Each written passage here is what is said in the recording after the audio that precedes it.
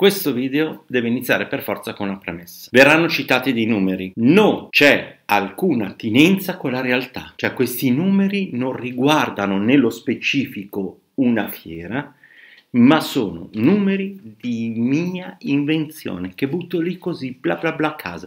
Non li ho letti da nessuna parte, da nessun documento, niente. Sono di fantasia.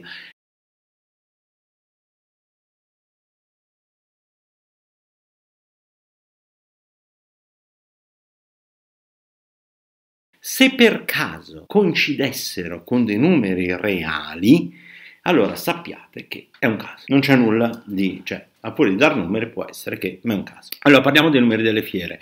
Perché? Perché i numeri visitatori delle fiere, stranamente, in Italia c'è il malcostume di dire che ha avuto 10.000 visitatori, 15.000, ne hai avuti 15.000, 30.000, ne hai avuti 88.000, 138.000 e non si capisce perché, ma lo andiamo a spiegare bene per punti. Quindi partiamo dal punto numero 1, Hans.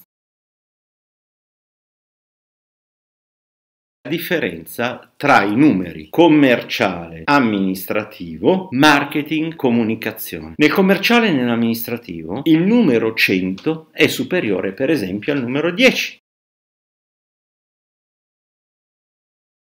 Perché se io vado a comprare con 100 euro una tonnellata di mele, con 10 euro non comprerò una tonnellata di mele. Numero maggiore vale più del numero minore. Chiaro? Passiamo al marketing e alla comunicazione. Nel marketing e alla comunicazione il numero maggiore non è maggiore del numero minore. Perché entra in gioco non l'oggetto che compro, cioè Sto, sto bicchiere non entra in gioco i soldi e il bicchiere, come nell'amministrativo e nel commerciale, ma entrano in gioco altri valori, ovvero il target di riferimento e la dispersione. E questi sono due elementi molto importanti. Esempio molto particolare, in questo caso vero, esiste un telegiornale nazionale italiano che ha il quarto numero per telespettatori, ma è quello che ha la più alta raccolta pubblicitaria e ha gli spot che costano di più in assoluto, perché ha un target più qualificato e soprattutto ha meno dispersione. Va bene? Ok, questa piccola lezione. Chiunque abbia studiato marketing, abbia studiato comunicazione, lo sa. Numero due, è inutile che una fiera dica Oh, io ho avuto 90.000 visitatori quando sono stati 40.000 perché esiste una SIAE, cioè Società Italiana Autori Editori, che pubblica, certifica i dati e li pubblica.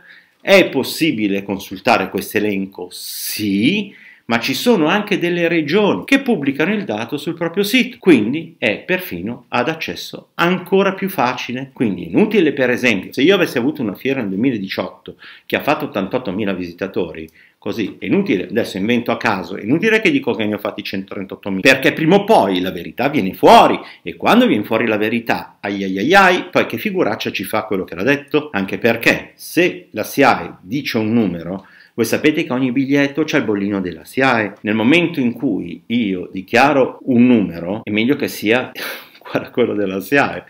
Ma qual è il punto ridicolo di tutta la questione? Che non è solo il fatto, uno ci fa la figura un po' delle... Eh, però c'è ben altro dietro e il ben altro lo vediamo subito, ovvero il punto numero 3. quando si parla della valenza delle fiere. Facciamo un esempio. Se io in una fiera vendo 10.000 camper e la fiera in X giorni ha avuto 88.000 visitatori, significa che il rapporto è 10.000 su 88.000. Se in quegli stessi giorni però io dichiaro che ho avuto 138.000 visitatori, il rapporto è 10.000 su 138.000. Capite che il rapporto è più basso? Il rapporto visitatore venduto è più basso? Quindi io sparo un numero che mi sembra, eh sì, ma in realtà sto solo dimostrando che forse, forse qualche lezioncina di marketing e comunicazione la dovrei andare a rifare forse, forse eh, qualche danno lo sto facendo dicendo questa cosa. Attenzione ai numeri che poi sul sito della SIAE si vedono, alcune regioni li pubblicano e allora poi uno dice ma eh? Salute.